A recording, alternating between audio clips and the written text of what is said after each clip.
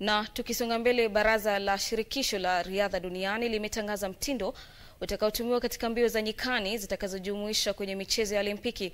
Mbio hizo, mtazamaji, zinapendekezwa kurejeshwa wakati michezo ya Olimpiki ya mwaka 2024 jijini Paris, na zitawashirikisha wanariadha wa kiume na wa kike pamoja kutoka mataifa kumi na matano na zitakuwa zikirejea kwenye michezo ya Olimpiki kwa mara ya kwanza baada ya muda wa miaka mia moja.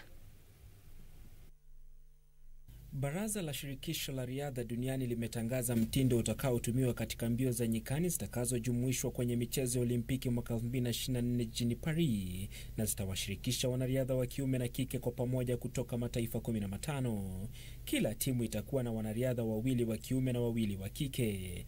Kila mwanariadha atakimbia umbali wa kilomita mbili unusu mara mbili kupokezana, na mwanariadha wa kiume atapokezana na mwenzake wa kike. Shirikisho la riadha duniani litafanya mkutano na waandalizi wa michezo ya Olimpiki ya Paris mwaka 2024 kujadiliana zaidi kuhusu mbio zenyewe.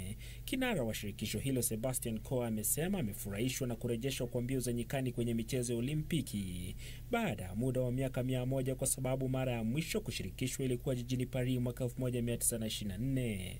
Aidha, shirikisho hilo pia linajadiliana na waandalizi wa mbio za nyikani za dunia zitakazoandaliwa jijini Bathurst mwaka 2021 kuhusu tarehe mpya za kuandaa makala hayo. Hii ni kwa sababu ya sheria mpya za usafiri na mikutano zilizowekwa nchini Australia kusaidia kuzuia kuenea kwa virusi vya korona, ikiwamo kufunga kwa mipaka ya kimataifa ya taifa hilo.